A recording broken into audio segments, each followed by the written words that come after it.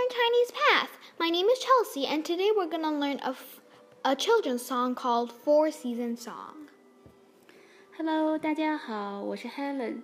今天我们要教大家一首儿歌《四季歌》，希望你们喜欢。This is a song, 四季歌. I believe we've learned 四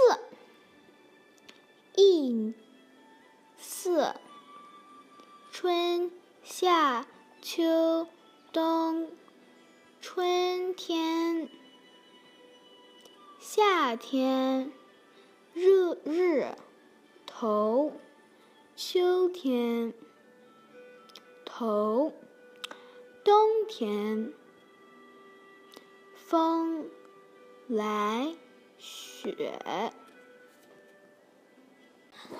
Let's start.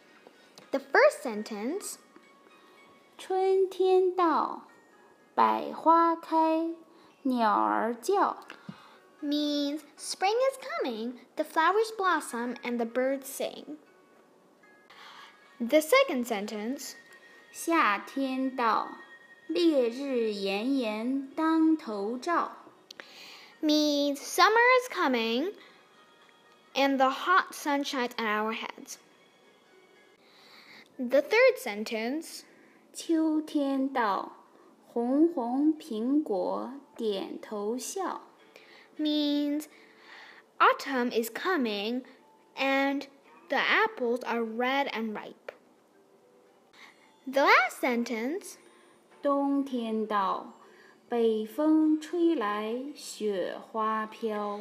means winter is coming and the north winds blow and snowflakes fall. Do you like my drawings? Which season do you like? Let's read. 四季歌，四季歌.一年有四季， One year has four seasons. 一年有四季.